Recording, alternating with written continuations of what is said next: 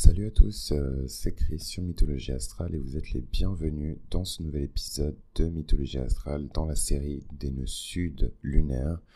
Donc si vous m'avez trouvé, c'est que vous êtes plutôt futé, je suis un peu éclaté car shooté aux médicaments, toujours à l'hôpital. Euh, voilà, voilà, et aujourd'hui nous allons parler euh, du nœud sud en balance. Alors, ce qui est intéressant avec le nœud sud en balance, c'est que mystérieusement, c'est un nœud sud que je connais très bien. Pourtant, c'est pas du tout euh, mon nœud sud, euh, mais c'est un nœud sud que je connais très bien. Euh, c'est peut-être parce que c'est générationnel et que ça touche en particulier ben, des générations que je connais, des personnes que je connais personnellement. donc, pour information, les personnes qui sont nées avec un nœud sud en balance, elles sont nées à la fin des années 40. Euh, le juillet des années 50, la fin des années 60 jusqu'à 69 hein, euh, et le milieu des années 80. Donc, euh, s'il vous plaît, par pitié, ne venez pas m'embêter avec les commentaires du style Ah, mais moi je suis né en 1962 et j'ai quand même je ne suis pas Google, je ne suis pas Wikipédia, je ne retiens pas ces dates-là, elles me sont strictement inutiles. D'ailleurs, je les donne dans cet épisode juste pour meubler l'épisode, mais je vois absolument pas en quoi ça change euh, l'archétype éternel d'une sud en balance. Mais bon, les gens aiment bien qu'on parle d'eux et qu'on leur parle d'eux, donc euh, et je sais que c'est plutôt, euh, comment dirais-je, populaire dans, l'astrologie des internets de parler des gens et leur parler, voilà. mais bon, c'est pas un truc qui est hyper important. Euh, d'ailleurs, euh, oui, donc les, les, personnes que je connais qui ont ce placement sont nées, euh, enfin, ils sont de la génération de mon petit frère, quoi, donc je connais très bien ce placement. donc, oui, puisque je connais les charts de ma famille par cœur, hein, donc c'est la base quand même. le tout, c'est pas juste de moi, moi, moi, moi, moi, moi, moi, moi, moi, c'est aussi d'explorer les charts des personnes que vous connaissez très bien pour trouver des, des dissonances, des, des, des, des, synergies, des consonances, etc. Alors, qui est intéressant de noter par rapport au nœud sud euh, en balance, c'est qu'il y a évidemment ici un bagage karmique, euh, un gros sac de, l'héritage euh, de plusieurs incarnations qui est évidemment centré autour des autres, centré autour des relations, relations amicales, relations professionnelles, relations romantiques, relations maritales. C'est un nœud sud qui montre peut-être un manque d'indépendance, des personnes qui se sont trop placées trop souvent sous la protection, sous le patronage de quelqu'un. Il y a beaucoup d'artistes, de très grands artistes, qui ont ce nœud sud, surtout les artistes qui ont bénéficié donc euh, au Moyen Âge. Euh, donc, quand c'est pas me poser des questions sur euh, le rythme de réincarnation et compagnie, j'en ai absolument aucune idée. mais oui, donc au Moyen Âge, des, des, des, et même encore jusqu'à aujourd'hui, mais en tout cas des artistes qui étaient placés sous un mécénat très puissant et qui peut-être n'avaient pas euh, la capacité d'exprimer leur vérité euh, par leur art tel qu'ils l'auraient voulu, mais plutôt à travers le prisme de la volonté euh, de, de, leur mécène. c'est les personnes qui cherchent la libération. C'est les, les personnes qui cherchent dans cette vie, donc dans leur nouvelle vie, dans la vie actuelle, pour les personnes qui sont nées avec un sud en balance, de la liberté, de l'indépendance, euh, l'assise de leur désir, l'assise euh, de leur volonté, de leur pulsion, de leur agressivité. Euh, c'est vraiment ici l'axe Vénus-Mars, donc qui est assez, pour moi, c'est un axe qui est assez connu, même les personnes qui n'y connaissent rien en astrologie. connaissent assez l'archétype féminin primordial Vénus et l'archétype masculin primordial Mars pour savoir en fait à quoi ça correspond. Donc, euh, les forces de, des personnes qui sont euh, nées avec un nœud sud en balance, c'est évidemment le fait que ce sont des personnes sur qui on peut compter. Euh, ce sont des personnes qui sont extrêmement généreuses, très spirituelles, très élevées. C'est la Vénus céleste, la balance. En tout cas, c'est l'énergie et l'influence de la Vénus céleste. En comparaison à la Vénus terrestre, on est beaucoup plus dans l'intolérance, le matérialisme, le plaisir des, cinq sens, l'hédonisme, etc. Euh, là, on est plutôt dans quelque chose de plus spirituel, de plus abstrait, avec le nœud sud en balance, des personnes qui sont extrêmement intelligentes, brillantes, avec un esprit qui est vif, qui ont un sens du discernement qui est important, mais qui n'ont pas forcément la capacité de mettre en action ce sens du discernement, prendre de la distance, euh, se séparer de certaines personnes, etc. Après, évidemment, il faut regarder le chart dans son entièreté et euh, bien observer les aspects qui sont appliqués au nœud sud pour bien comprendre du coup ce qu'il en est. et quel type d'action particulier on puisse passer. Est-ce qu'il s'agit d'une rupture? Est-ce qu'il s'agit de, de, je sais pas d'un assassinat? Est-ce qu'il s'agit de, d'une relation abusive? Est-ce qu'il s'agit de... Il y a tellement de choses qu'on peut voir avec une interprétation karmique de son thème astral.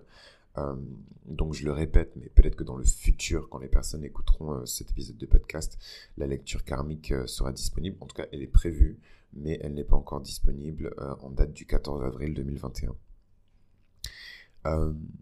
Les, les, les, grandes épreuves que ces personnes qui ont le nœud sud en balance doivent traverser, c'est vraiment des épreuves qui sont liées au travail, à la rigueur. Et c'est drôle parce que Saturne est exalté dans le signe de la balance, mais tout de même, c'est des personnes qui galèrent avec le travail, qui galèrent avec la rigueur, qui ont beaucoup de mal à s'imposer comme des leaders, qui sont toujours quelque part euh, sous le patronage de quelqu'un. Et ça me fait une excellente euh, transition pour vous parler euh, des personnalités connues qui sont nées avec un nœud sud en balance et ça va vous ça va absolument pas vous choquer euh, mais on a Meryl Streep. Donc je connais pas assez la vie euh, de Meryl Streep pour vous dire à quel point le nœud sud au niveau de ses relations s'est manifesté dans sa vie. Par contre, je connais assez sa carrière cinématographique pour vous dire qu'elle incarne à sa manière une forme d'étendard, une forme de, de, standard, une forme de, de, de, de mesure, une forme de, représentation de la féminité occidentale au XXIe siècle. Donc c'est l'une des plus grandes actrices de tous les temps. C'est sûrement l'une des actrices les plus nominées et les plus oscarisées et les plus, euh, comment dirais-je, récompensées euh, et reconnues par les médias occidentaux euh, pour son art, pour son talent, pour sa persévérance, pour sa longévité. Elle a une très longue carrière, Meryl Streep. Euh, voilà, donc euh, Meryl Streep qui, qui, voilà, se ne suit en balance, qui à mon avis était plutôt un héritage positif. Après, on connaît pas la vie personnelle des gens, donc on sait pas comment ces nœuds se manifestent dans leur vie personnelle, mais je pense quand même qu'elle a bénéficié euh, de toute l'énergie, évidemment, de beauté, de grâce du nœud sud en balance d'un point de vue positif. D'un point de vue un peu plus négatif, on peut retrouver des personnes qui, comme je l'ai expliqué au début de la série, hein, je vais pas tout répéter à chaque fois, sinon ça sert à rien que je fasse des épisodes de présentation, le nœud sud représente à la fois euh, les héritages positifs que vous avez eus d'incarnations précédentes et à la fois les héritages négatifs que vous avez eus d'incarnations précédentes. Et en fait, ces héritages négatifs se manifestent par des mauvaises habitudes, des mauvais réflexes. Et donc, typiquement, les trois personnalités publiques suivantes que je vais vous citer, euh, et je découvre en même temps que vous, hein, parce que contrairement à ce qu'on pourrait penser, je ne passe pas ma vie à étudier les stars. Je l'ai fait quand j'étais jeune, un peu comme tout le monde, comme tous les jeunes de mon âge, euh, qui sont intéressés par la culture populaire. Euh, mais voilà, je ne connais pas tous leur vie euh, par cœur, je me repose surtout sur des choses que j'ai explorées quand j'étais plus jeune. Et donc, ça ne vous choquera absolument pas d'apprendre que Céline Dion avait un nœud sud en, en, balance. Et elle a quand même, au-delà de, des mauvaises habitudes, acquis une réputation dans le monde qui est très liée à la relation qu'elle entretenait avec son manager. Alors j'ai oublié son nom, mais paix à son âme. Euh, qui était un homme très important dans sa vie, qui l'a managé, qui l'a transformé, qui l'a cadré, euh, qui l'a amené à évoluer vers quelque chose de plus euh, canon, comme on dit, de plus commercialement viable, qui l'a exporté vers les États-Unis. Enfin voilà, c'est quelqu'un qui a joué un rôle extrêmement important dans sa carrière, un rôle de, fameux mécène, comme je vous disais. Un peu plus tôt sur les personnes qui avaient souvent ce, ce, ce sud en balance. Euh, d'ailleurs, euh, mécène, c'est évidemment dans le scénario le plus positif et le plus optimiste. Ça peut aussi être un pimp. Donc, pour les personnes qui ne savent pas ce que c'est qu'un pimp, euh, vous tapez sur Google P-I-M-P, pimp, et vous verrez ce que ça veut dire. Je ne vais pas m'étaler dessus. mais voilà, il y a vraiment les deux. Je trouve que dans les, dans les notions en balance, il y a vraiment deux archétypes qui se distinguent. C'est à la fois celui du mécène, un peu l'ange gardien, qui va tirer la personne vers le haut, mais dont la personne aura du mal à se détacher et prendre son indépendance, d'où le fait qu'elle se réincarne dans cette vie euh, avec un nœud nord en bélier où elle doit absolument acquérir l'indépendance, absolument tenir sur ses deux pieds, absolument rester seule et affronter seule la misère du monde. Euh, c'est important.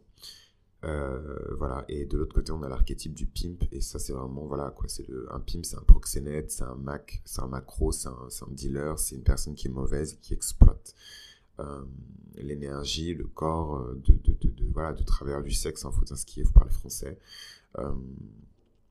Et, et, voilà, et donc Céline Dion, en tout cas, voilà, c'est, on est personne pour juger, chacun avance à son rythme, mais elle a clairement réalisé sa mission d'âme avec son en bélier bien après la mort de, de, de, son, de son mari, quand elle a fait son fameux comeback il y a deux ou trois ans où elle avait perdu 50 kilos et qu'elle était genre juste elle, elle, elle, elle, elle. Et c'était différent. Tout le monde a senti que c'était différent, tout le monde lui a donné la gloire qu'elle mérite parce qu'elle est en train de réaliser sa mission d'âme. Elle s'est tenue toute seule sur ses pieds, donc euh, mieux vaut tard que jamais. Il me semble qu'elle avait déjà presque 50 ans, mais euh, voilà, elle a fait ça. Euh, David Guetta, donc pour les personnes qui connaissent David Guetta, c'est un DJ français qui s'est fait connaître à Ibiza et un peu dans les à Barcelone, Ibiza, Mykonos, voilà un peu les endroits D'ailleurs, il est bon de préciser que c'est des endroits qui sont très gay-friendly, hein, donc euh, on, a, bien contribué quand même au succès de David Guetta, je pense, au début. Mais voilà, donc c'est destination très UP où il a mixé. En fait, il a fini par percer aux États-Unis sur des sons qui sont très électro, très EDM, euh, voilà, euh, avec cette, fameuse, cette fameuse clé de Fa qui emmerdait tout le monde et qui a fait l'objet de plein de moqueries dans la presse et dans les médias français euh, et c'était super drôle. Enfin, je sais pas, moi je repense au guignol de David Guetta, enfin, c'était à mourir de rire. Anyway. Euh, et donc David Guetta, pour les personnes qui connaissent un tout petit peu sa vie privée, il, est, euh, il a été pardon, marié pendant longtemps à une femme qui s'appelle Cathy Guetta. Donc je, je, tiens à préciser que je suis un très grand fan de Cathy Guetta, c'est une, une bête entrepreneuse, c'est une titanide, elle a vraiment sorti de, de, de, je sais pas où il se trouvait, mais Regardez vraiment les photos de David Guetta avant, après.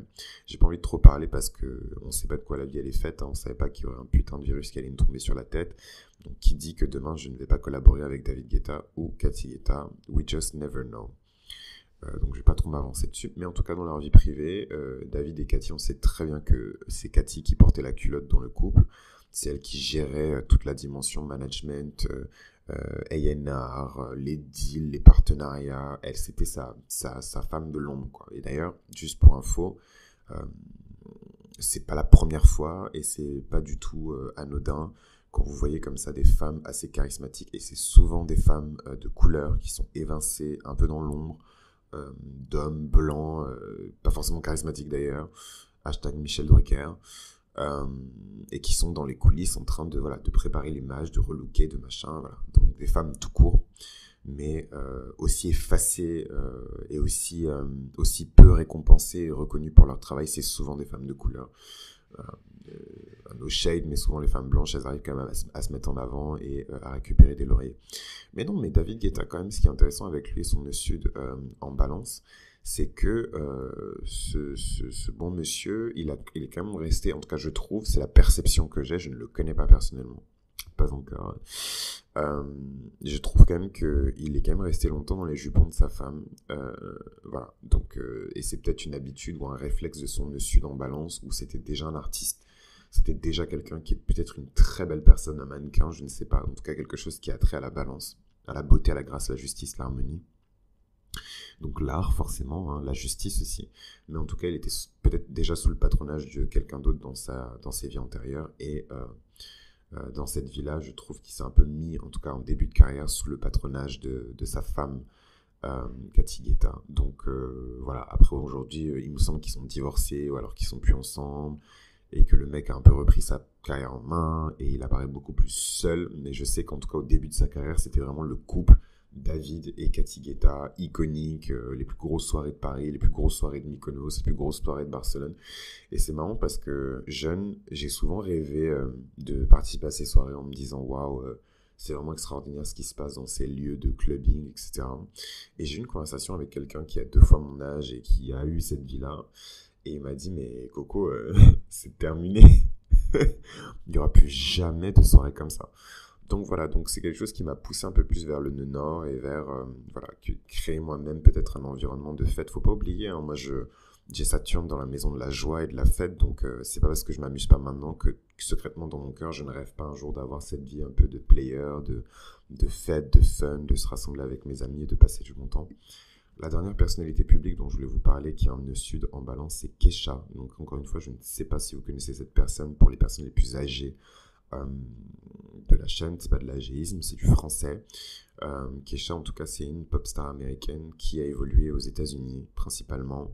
Euh, a eu un gros succès mondial et planétaire avec un titre qui s'appelle TikTok. Donc TikTok on the flap, flap, flap, flap, flap, flap, flap, Et ensuite, elle a disparu dans les méandres de, de, de, de l'industrie de la musique parce qu'en fait, il se trouve que cette bonne femme, euh, pendant des années, donc je ne sais plus exactement combien d'années, je vous prie de m'excuser pour ça parce que la, la, violence, la brutalité, les agressions sexuelles, c'est absolument pas fun. Mais euh, pendant des années, elle était menacée, euh, séquestrée et subissait du chantage de la part de d'un producteur qui s'appelle Dr. Luke. Donc allegedly, hein, on n'a pas eu encore de... de, voilà, tout le monde sait ce qui s'est passé, mais juridiquement, on ne sait pas si le gars a été condamné ou pas tout cas, moi, j'ai pas suivi cette affaire d'aussi près pour être au courant de ça. Donc, j'ai pas envie de me retrouver avec euh, euh, une plainte pour diffamation euh, de sa cousine germaine française qui habite dans le pays de la Loire.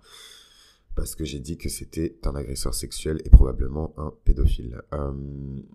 donc, donc la bonne femme Kesha, donc elle subissait ces séquestrations de la part de, de, de Dr Luc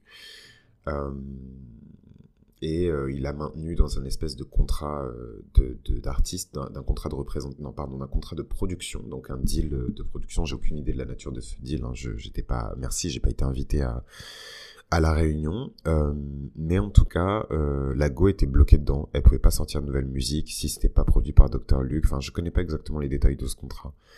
Mais tout ce que je sais, c'est qu'elle était prisonnière de ce contrat, elle pouvait pas partir. Euh, en plus de ça, à l'époque où elle bossait avec lui, Dr. Luke, c'était juste le plus gros producteur de pop euh, de la décennie, pour ne pas dire des 20 dernières années. Le mec, euh, il a produit le tiers des hits de Britney Spears, il a produit les deux tiers des hits de Katy Perry, il a produit les hits aussi, en tout cas une partie des hits de Nicki Minaj.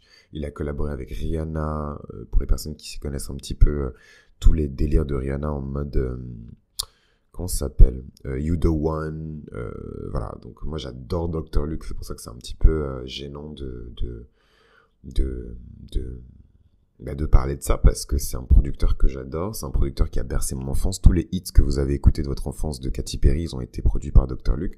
Donc c'est toute cette question de dissocier euh, l'artiste euh, de la personne, euh, toute cette question de voilà, est-ce que on boycotte ces trucs-là parce qu'on sait que la personne l'a produit? Enfin voilà, moi je, en tout cas moi dans ça, je suis extrêmement pragmatique. Et je pars du principe qu'en fait, euh, cette personne-là, elle a été découverte et affichée, mais il y a tellement de producteurs et de personnes et d'hommes qui ont du pouvoir dans cette industrie qui ne se feront jamais attraper en fait. Et vous continuez à écouter leur musique et ça ne vous dérange pas. Voilà. Euh, mais un jour, je, enfin, je sais pas si Mythologie Astrale c'est la meilleure plateforme et le meilleur outlet pour discuter de tout ça. Souvent, c'est des sujets qui sont très houleux. Euh, tout le monde a son opinion et voilà. Et moi, je suis pas un polémiste, donc euh, je suis pas là pour discuter de ça. Mais je trouvais qu'en tout cas parler de, la situation de Kesha par rapport à son le sud, c'était pertinent dans, cette dans cette circonstance particulière. Donc, juste pour revenir sur Céline Dion, ce que je trouve et David Guetta aussi, ce que je trouve intéressant, c'est que dans leur vie, ils étaient amenés avec leur nœud en bélier à faire de grands bons en avant, de vraiment de, de, de, de voilà quoi, de, de prendre leur courage à deux mains et de se tenir debout seuls sur leurs deux pieds. Et je trouve quand même qu'ils ont réalisé euh, leur mission d'âme, que ce soit Meryl Streep, Céline Dion, David Guetta ou même Kesha, puisque finalement elle a porté plainte. Elle allait jusqu'au bout de la procédure judiciaire. Finalement, j'ai pas trop suivi l'affaire, je sais pas si elle a eu gain de cause mais euh, la Go, euh, elle s'est vénère, quoi. Et donc là, elle a, je pense qu'elle a définitivement rompu avec ses habitudes de, de, de le sud en balance pour vraiment embrasser tout, tout le feu et la révolution violente du nord en bélier. Donc, donc c'est les personnes qui jugent énormément. Hein. Euh, c'est les personnes qui jugent énormément, c'est les personnes qui ont leur opinion euh, sur beaucoup de choses, mais qui n'ont pas forcément le courage de donner leur opinion. Euh, ce qu'il faut savoir, c'est que dans l'astrologie qui est évolutive, en comparaison à l'astrologie karmique, hein, c'est deux choses complètement différentes. Le nœud sud, il est interprété un peu différemment. Le nœud sud, il est vraiment interprété comme tous les travaux qui n'ont pas été terminés dans la vie précédente. Donc, si par exemple je prends mon exemple, le nœud sud en taureau, c'est forcément euh, un nœud sud, comme je vous l'ai expliqué, d'accumulation de richesse, c'est un nœud sud de prestige, d'honneur, de statut. Et euh, quand on se réincarne du coup avec un nœud sud en taureau et un nœud nord en scorpion, on doit à la fois acquérir dans cette vie, ça dépend de chacun, je suis pas en train de... Voilà, les énergies des signes sont extrêmement vastes, il n'y a pas une euh, manière d'interpréter les choses. Et je vous prie de ne pas être fainéant et de prendre vos dispositions et vos responsabilités, de compléter euh, les savoirs sur euh, le nœud sud avec vos recherches personnelles pour savoir comment ça se traduit dans votre charte à vous. Mais en tout cas, pour ma part, je sais que mon sud en taureau incarnait déjà une forme de richesse et de prestige et de, je sais pas moi, de possession matérielle, blablabla et que dans cette vie, je dois pratiquer le détachement, ne pas m'accrocher à mon argent, ne pas avoir peur de dépenser, d'investir, de spéculer. Euh, que dire de plus euh, Et ne pas avoir peur d'acquérir du pouvoir. Voilà, moi c'est vraiment euh, ma croix, c'est la peur d'avoir du pouvoir, d'avoir trop de pouvoir et toutes les responsabilités qui vont avec le pouvoir. Mais en même temps, c'est mon destin, donc voilà, il faut que je fasse. Donc le nœud sud euh, en balance d'un point de vue euh, d'astrologue euh, ou d'astrologie évolutive, c'est un nœud sud qui cherchait la justice, qui cherchait quelqu'un qui cherchait l'équité, quelqu'un qui était peut-être dans un procès qui lui a pris toute sa vie, toute sa vie, il était en procès pour demander justice, pour demander le rééquilibre d'une situation, l'harmonie dans une situation. donc c'est des personnes qui ont des émotions qui sont très organiques, euh, c'est des personnes qui cherchent à tout prix. Il y a beaucoup d'amoureux, euh, beaucoup d'histoires de, d'amour tragiques euh, avec le nœud sud en balance. C'est pour ça qu'il faut bien regarder les aspects qui sont faits au nœud sud. Mais voilà, Roméo et Juliette, typiquement, mais typiquement Roméo et Juliette, s'ils avaient un thème astral, ils auraient un nœud sud en balance qui montre l'histoire d'amour intemporel, infini, presque divine qu'ils ont partagé, et un nœud sud qui doit montrer que dans la vie suivante, ben, un, un, nord qui doit montrer que dans la vie suivante, ben, ils doivent devenir plus indépendants. Donc c'était Chris pour Mythologie Astrale. Si vous m'avez trouvé, si vous êtes plutôt futé, n'oubliez pas de soutenir le contenu. Voilà, c'est bien beau de se servir gratos sur Internet parce que tout est beau et tout est gratos, mais euh, c'est gratos parce que, un, vous êtes le produit, et deux, euh, parce qu'il y a des âmes charitables qui se permettent de du contenu de, parfois hein, de qualité, hein, parce que tout ce qui est gratuit n'est pas forcément de qualité. Euh, donc faites votre part du boulot, en fait, un peu d'honnêteté, de, de bienveillance les uns envers les autres, c'est cool aussi. Et voilà. Donc je vous embrasse et je vous dis à bientôt.